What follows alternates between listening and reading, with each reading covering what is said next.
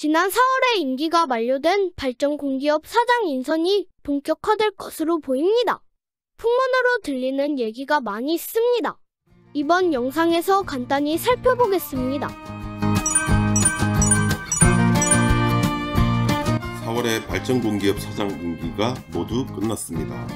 후임 사장이 선임될 때까지 임기가 연장되고 있는데 들리는 풍문을 종합해보니 조만간 인선이 추진될 것 같습니다. 많이들 물어보셔서 같은 말 계속하는 것도 힘들고 영상으로만 간단히 살펴보겠습니다. 오늘 말씀드리는 내용은 풍문으로 들은 것을 종합한 겁니다. 그러니까 너무 믿지 마시고 인사라는 것이 발표 하루 전에도 바뀌고 그럽니다. 2024년 5월 8일 기준으로 영상이 제작됐다는 말씀드리면서 이번 영상 시작하겠습니다. 일찍이 발전공기업은 임추위를 꾸리고 준비태세를 갖추고 있습니다. 정부 신호만 기다리고 있는 중이죠.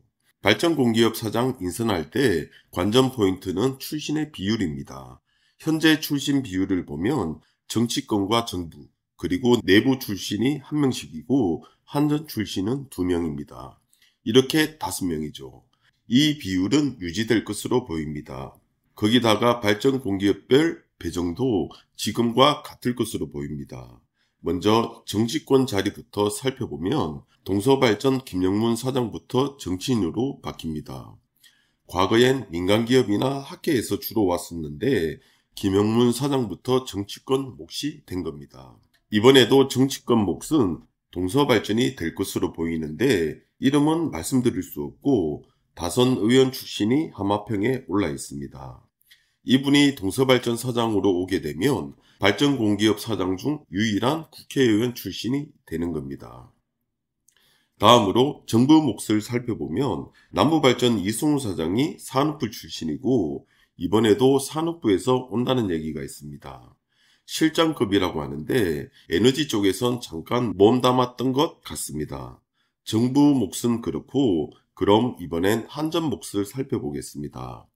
현재 한전 출신이 남동 발전과 서부 발전으로 배정됐는데 이번에도 그럴 가능성이 크다고 합니다.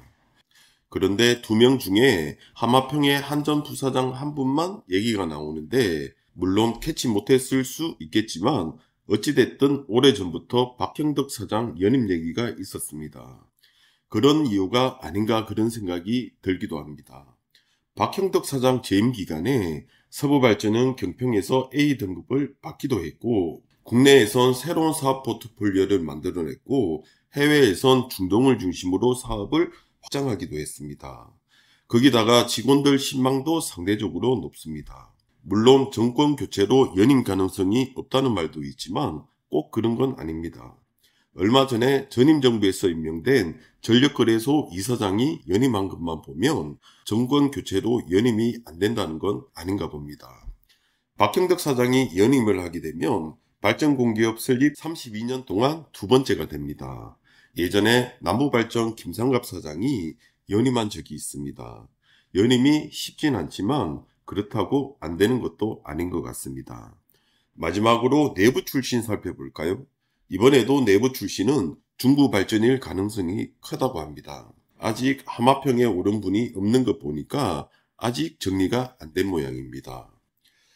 오늘은 발전공기업 사장 인선을 둘러싼 얘기 해봤습니다. 인사는 발표 직전에도 바뀔 수 있습니다. 그리고 이번 영상은 풍문으로 들은 얘기를 바탕으로 제작됐다는 말씀드리며 이 시간 마무리하겠습니다. 시청해주신 여러분 감사합니다.